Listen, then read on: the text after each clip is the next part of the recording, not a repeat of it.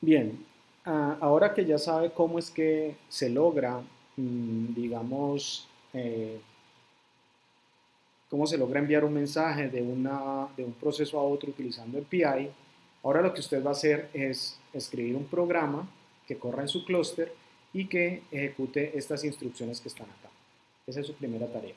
Eh, va a tener un programa cuyo rango es cero, perdón, un proceso cuyo rango es cero y lo que va a hacer es enviar un mensaje y luego va a recibir un mensaje. ¿A quién se lo va a enviar? Al destino 1. ¿De quién va a recibir el mensaje? Del, fuente 1.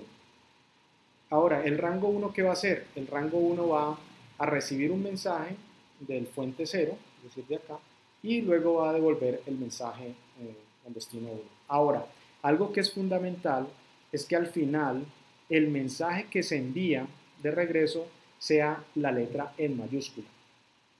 ¿Está claro? Básicamente eso. Que el rango, el proceso cuyo rango es 0 va a enviar un carácter y este señor de acá, lo que va, el señor, el proceso de rango 1, lo que va a hacer es recibir el mensaje y convertir ese carácter a mayúscula.